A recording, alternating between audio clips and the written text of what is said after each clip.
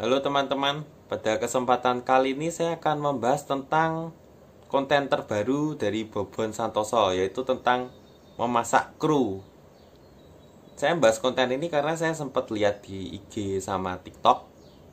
Saya waktu itu lihat ada komennya ini nggak mendidik ini ini nggak bagus kalau dilihat anak-anak karena kontennya kayak ibaratnya apa ya ya kayak goreng orang gitu Oh ya, di sini saya adalah orang yang subscribe Bobon Santoso juga, meskipun mungkin nggak terlalu aktif lihat setiap videonya. Ya wajar lah, orang yang kita subscribe atau channel yang kita subscribe di YouTube itu kita belum tentu nonton semuanya kayak gitu. Kak, saya kira-kira ini yang sering nonton itu konten podcast Om Deddy sama kontennya Fernalta, si animator nggak ngotak itu. Oke, kembali ke topik tentang konten terbarunya Bobon Santoso yang yang masak krunya ini sebetulnya adalah apa ya konten yang dia buat sudah pernah dia buat gitu sebelumnya. Dia pernah buat sekitar 4 atau 5 bulan yang lalu konten soal masak kameramennya. Tapi waktu itu dia itu masih belum ada wajan yang besar gitu. Jadi istilahnya cuma kayak ditepungin gitu. Kalau yang di video kali ini dia sudah ada wajan, wajan besar yang viral itu yang sering dia buat masak besar-besar. Terus jadi krunya itu ditepungin kayak gitu. Terus terus ditaruh di wajan dan mandi minyak gitu.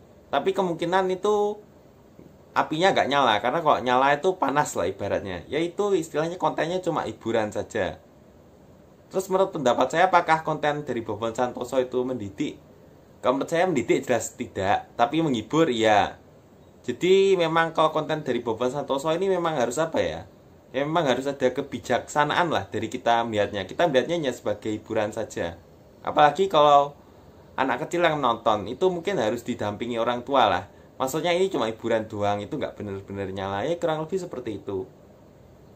Karena memang harus kita akuin karena semakin lama itu jumlah penonton yang misalnya dari anak yang di bawah umur itu semakin banyak. Karena kan internet sudah ada.